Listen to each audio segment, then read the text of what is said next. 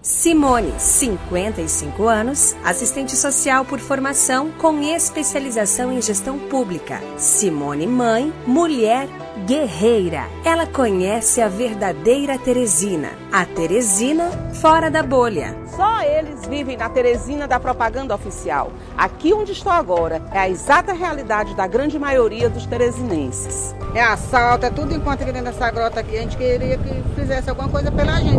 Que fechasse esse grotão, porque no inverno aqui as casas da gente enchem de água. Chegou a hora de Teresina dar um salto. Não podemos mais esperar. Diga sim para Teresina. Quer saber mais? Veja, participe e compartilhe nossas propostas nas redes sociais.